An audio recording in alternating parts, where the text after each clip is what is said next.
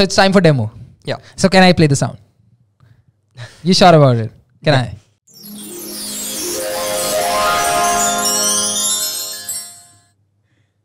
All right. So, uh, as you can see on the screen, uh, we have the PWA kit up and running. This is a React-based application, as I've told you before, uh, uh developed by Salesforce. Uh, they are they have provided it as a base on top of which you can uh, develop your app further.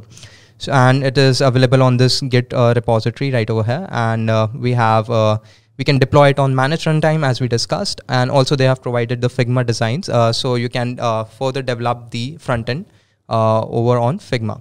So um, all these categories and navigation bar uh, you can see are already uh, there in the uh, business manager. So this is the business manager that we have. And we ha already have the categories over here and they are being uh, fetched through the API call and displayed over here. So if I, for example, if I go here and edit this category and make this online,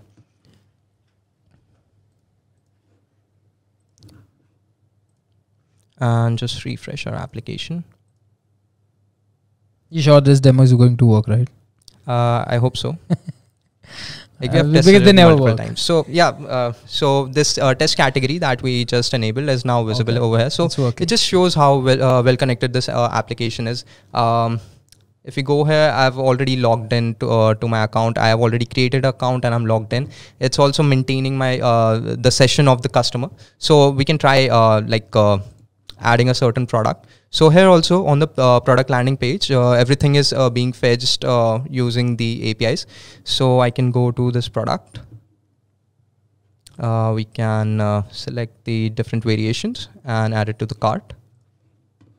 We can proceed with the checkout. It's the checkout flow is very similar to what you would see in SFRA. We are just and selecting our already saved address, and let's select our shipping method and then we can enter our details of you're not entering the right ones right? Yeah uh, yeah obviously. I don't want my details to, uh, credit card details to be shown. Do you have a credit card by the way? I have a debit card. I don't i knew that.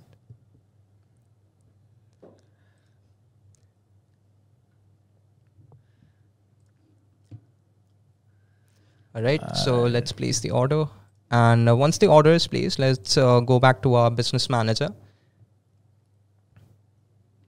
And we can see our order has been created right over here with this particular product that we just selected.